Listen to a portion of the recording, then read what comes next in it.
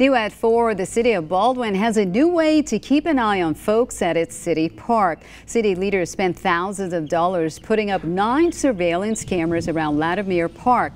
This comes after there have been several reported incidents at the park in the last three weeks. The city hopes the cameras will deter people from vandalizing or damaging the new equipment in the park.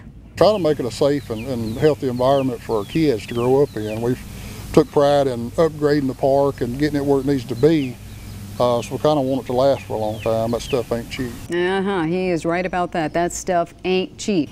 Now, the surveillance cameras will be monitored 24-7, and if officials catch a crime on camera, they will immediately call the police.